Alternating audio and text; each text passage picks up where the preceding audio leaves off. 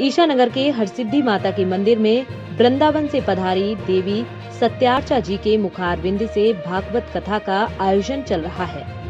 श्रीमद भागवत कथा में देवी सत्यार्चा जी के द्वारा श्री कृष्ण रुक्मणी विवाह के बारे में बताया गया, जिसकी झांकी भी सजाई गई।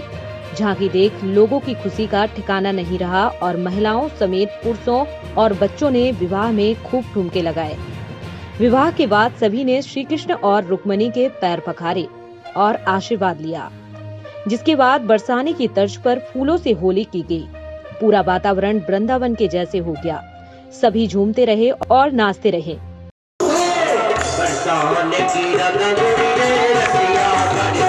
की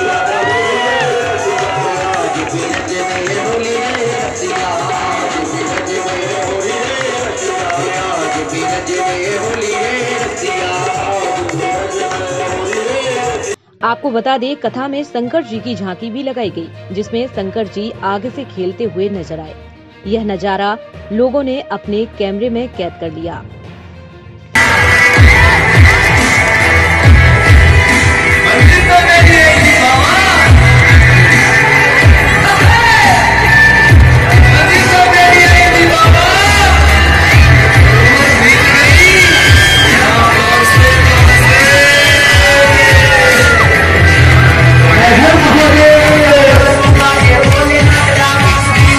कथा में श्री कृष्ण की भूमिका में मिली मिश्रा, राधा जी की भूमिका इतिका पटेरिया और रुकमणी का किरदार शानिया मिश्रा के द्वारा निभाया गया है। साथ में उनकी अन्य सखियाँ मौजूद रहीं, जिन्होंने अपने डांडिया के प्रदर्शन से सभी का दिल जीत लिया।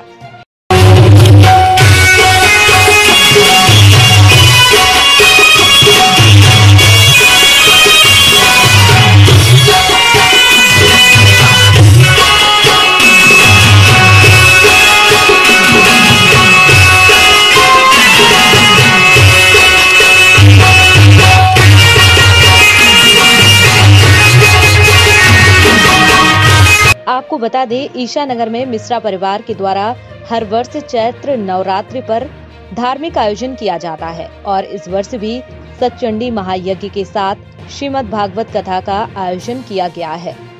वहीं कथा के बाद महाआरती की गई। महाआरती में सैकड़ों की संख्या में कई लोग मौजूद थे।